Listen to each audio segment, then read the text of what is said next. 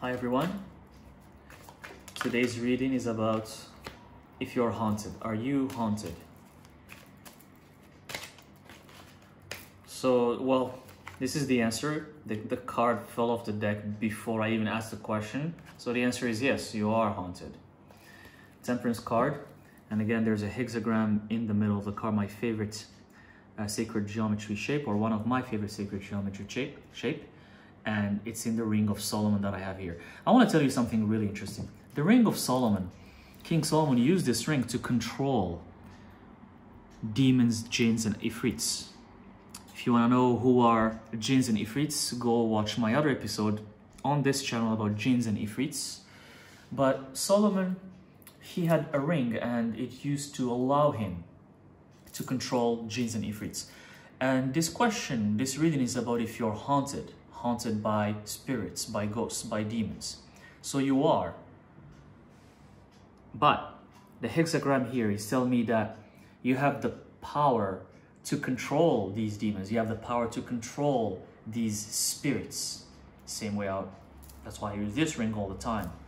Because this shape, the hexagram, and this shape you see it across this hermetic deck, you see it everywhere, is a sacred shape that represents a portal between the physical world and the spirit world.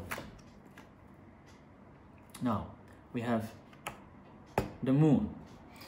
This is to conquer, this is telling me that you need to conquer all of your fears, the fears that you have of spirits, ghosts, and demons. Now you are haunted. And that can be a very, very scary experience because I went through that myself. I know how it feels. So there's a lot of fear that's going on with you. But this card wants you to know that you can control that fear. You can control those ghosts. You can control those spirits. You can even ask them to help you and protect you. So you're going to love it. Once you're going to learn how to control this fear and don't run away from it. Don't run away from it. You're haunted these spirits are there for you. Maybe they're your ancestors. Maybe they can be spirits that were living in your room or in, or in your house way before you came there.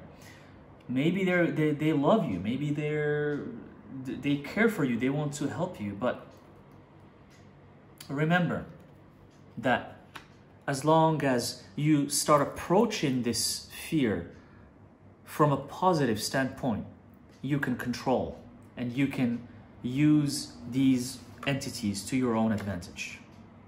Again, we have abundant success. This card is telling me that you're going to succeed.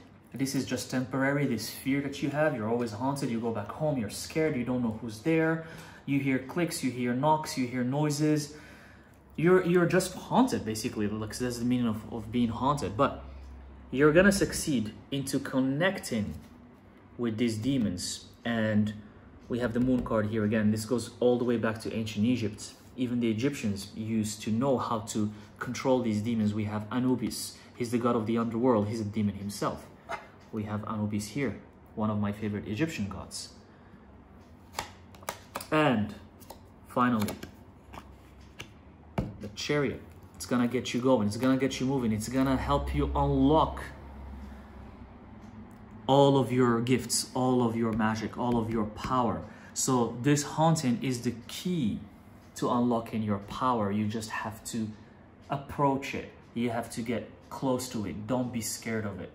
And then it's gonna get you moving. It's gonna make you, well, the princess or the prince that you are.